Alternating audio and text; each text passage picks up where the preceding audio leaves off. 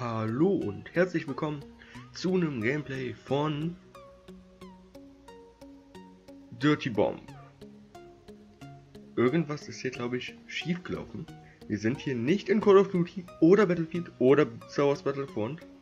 Ich weiß nicht, was da schief gegangen ist. Es tut mir leid.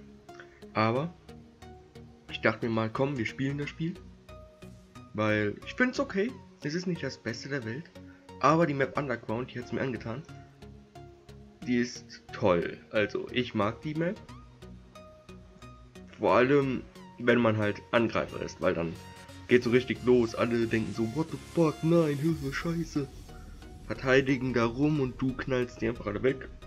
Aber auch eigentlich teambasiert, weil du brauchst auch halt sowas wie einen Sanitäter oder einer, der dir Muni gibt. Und es ist irgendwie Lasst mich nicht lügen, aber irgendwie schon Team Fortress 2. Ja. Und ich pausiere das immer und wir sehen uns gleich wieder, weil ich mache glaube ich das Spiel mal ein Ticken lauter.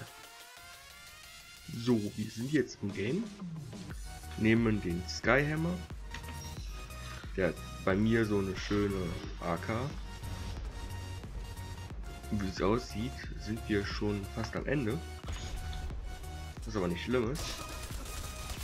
Und wir hoffentlich jetzt nicht schon direkt verrecken. Sowas wie Granaten gibt es jetzt nicht so wirklich, sondern jeder hat so ein eigenes Special-Item. Halt einer die Torrents, so Geschütztürme. Einer hat einen Airstrike, den habe ich. Weil ich mit der Klasse spiele, die einen Airstrike hat. Und die andere hat einen Defi und eine Heilbasis. So, schmeißen wir mal den Airstrike runter holen uns die. Machen wir da unten mal hier ein bisschen. Der?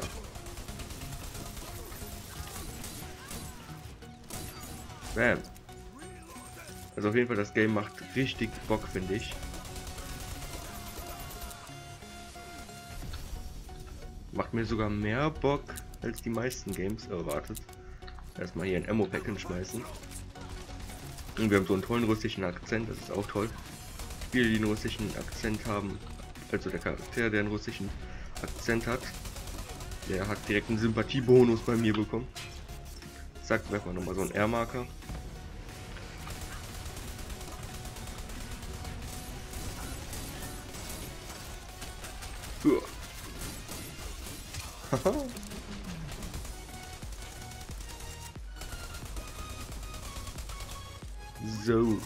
Also auf jeden Fall, ich mag das Game, das macht mega Bock. Ich kann es eigentlich jedem empfehlen, weil es ist sogar free to play.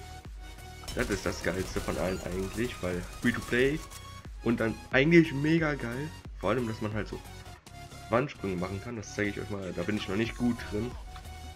Das habe ich auch noch nicht so lange im Blut.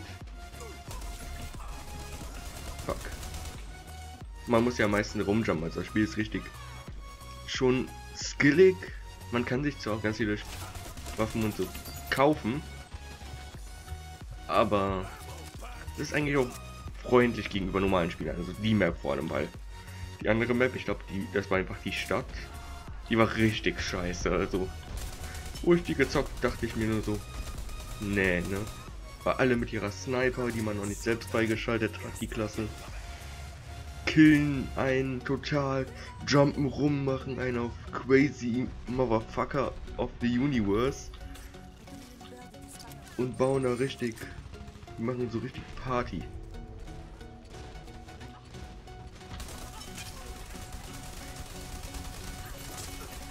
Ja. Ha. Ja, ja, ja. Geht da lieber noch nicht rein, Leute. Da ist ein Typ.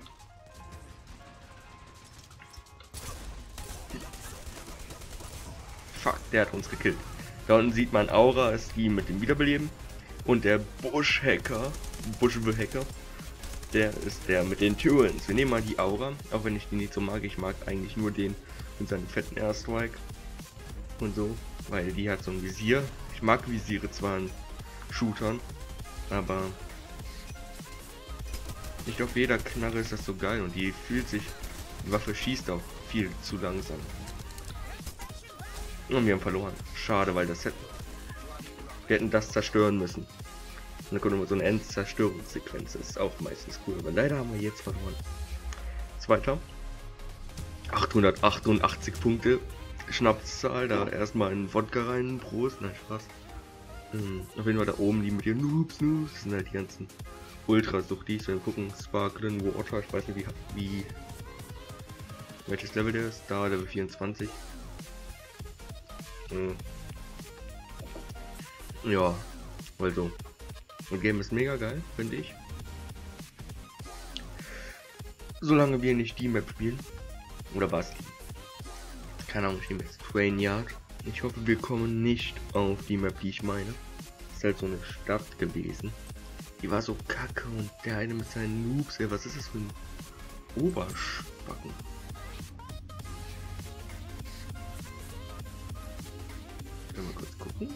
Na, schade, man kann die nicht löschen. Aber was ist das für ein Mongo? Sparkling Water, das ist bestimmt... Natürlich, er spielt auch ein bisschen in der Sniper-Klasse, glaube ich. Einer von denen ist bestimmt eine Sniper-Klasse. Meine Güte, wie der abgeht, der Hurensohn. WTF.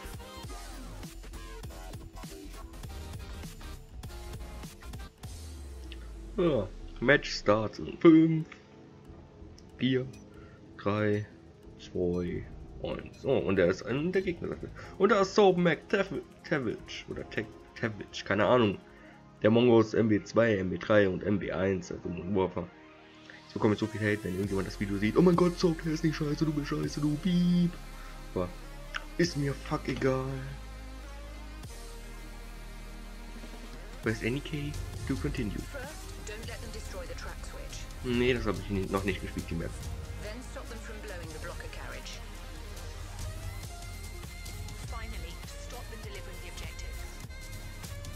Das heißt, wir sind wieder die Defender, wie es aussieht. Wir nehmen Skyhammer und die Deploy Now.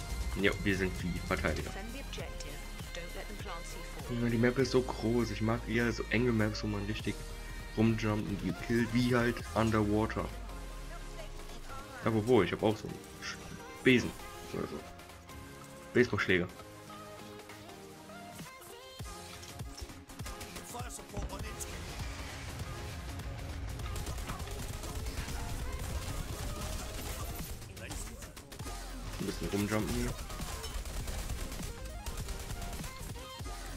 Received Help. Wir haben ein bisschen Leben dazu bekommen.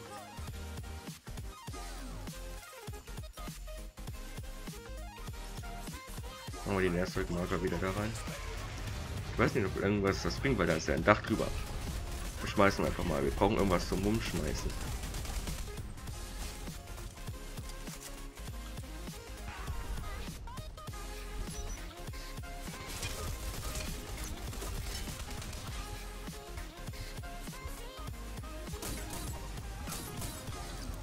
Combat Assist. Was? Der hat sich wiederbelebt. Bitte, der hat sich einfach wiederbelebt. Und ich wurde gerade in der Luft gekillt, das sieht man da.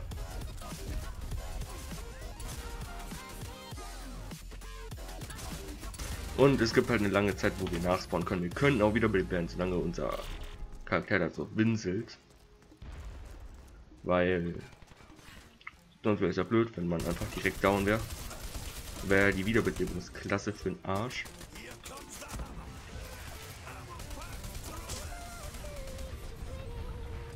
Finish Assist. Ja. Ich brauche ein bisschen Help, Leute. Ah, hier ist ein bisschen Help.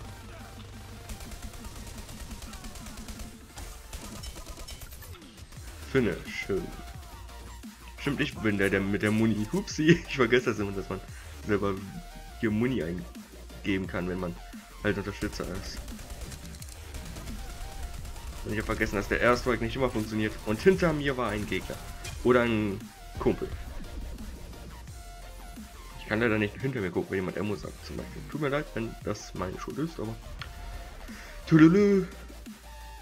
I'm not the best in the game. Ich bin glaube ich Level 3. Ich bin froh, wenn ich Level 4 bin, dann ich, kann ich mein Goldpack öffnen.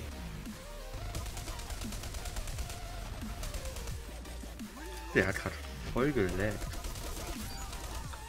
That guy is down. I killed that guy.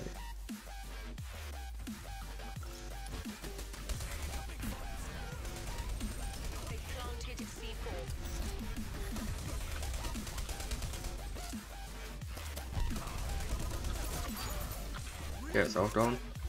Aber ich kann jetzt nicht da hinrennen, weil ich nicht genug Leben hätte, um da was reißen zu können. Jetzt könnte man mich zum Beispiel wiederbeleben, aber er hat die Trackgate geclosed, heißt, man kommt nicht so einfach rein, man muss doch da irgendwie rüberspringen. Ich kenne die Map nicht, deshalb schätze ich mal, weil man kann nicht einfach sagen, ja, ich drücke jetzt E die, die Tür ist wieder offen. Oder? Da kann man einfach wieder die Tür öffnen. Nee, kann man nicht.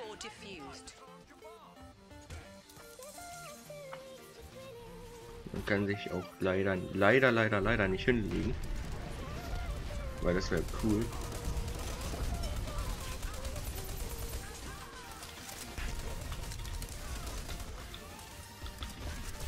Na, schade, gestorben. Also das Rumjumpen, ich finde die Map Underground am besten. Die macht mir am meisten Spaß, weil man kann einfach... Die Map macht mehr richtig Bock, weil man rumjumpen kann. Es gibt High Ground und Low Ground, das heißt oben oder unten ist man halt. Und so und nicht so, so Maps, wo man so gesagt eine flache, flächere Ebene hat, eine flache Ebene halt. Ja, ich mach schon. Verteidigt mich mal bitte, danke. Also es ist doch die beste... Oh mein Gott, Leute. Verteidigung, die? Und ist es denn ernst, du willst das jetzt... Das war... Das war ein... Hier Sanitäter, aber er hat uns nicht gehalten. Er wollte lieber dass die vier selber machen und damit die Punkte ernten. Das gibt es leider auch in diesem Game. Sehr oft. Oh fuck, schon wieder Raketen. oh, zwei Raketen dann noch. Hm. Na, 4 gegen 4. Sparkling Water geht mir auf den Sack.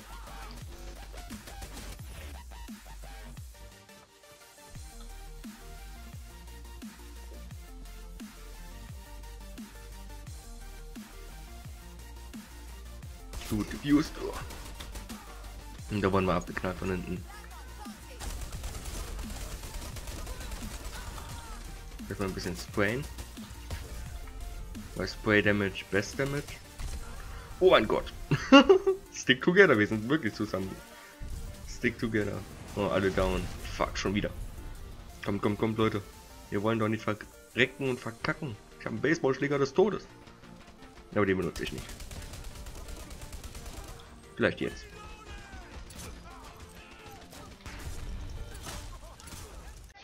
Mach dich matsch. Fuck.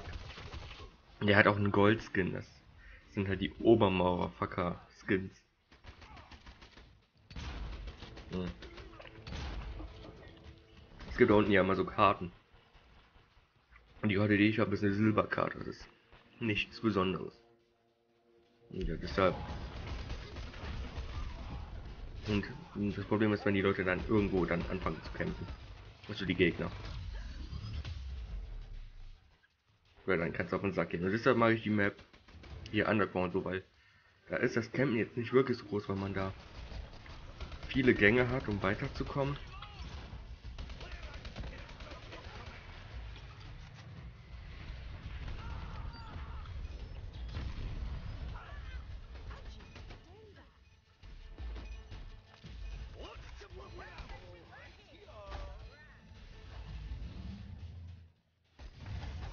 Wir haben gewonnen.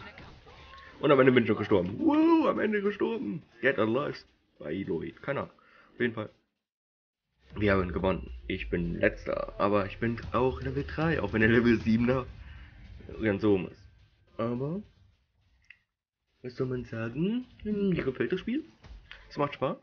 Ich habe noch ein Equipment Case bekommen. Das ist toll. Gehen wir mal raus aus dem Match. Und öffnen das, weil ich habe jetzt zwei Stück, eins leider erst mit Level 4 öffnen. Hier zum Öffnen halt. Meine Güte, wenn man irgendwie in diesem Match war. Das Reden fällt mir schwer. Man kann auch sagen, was ich hohl bin, keine Ahnung. Ist mir egal. Auf jeden Fall, was haben wir, was Tolles? Gib mir bitte einen guten neuen Charakter und nicht wieder irgendeinen.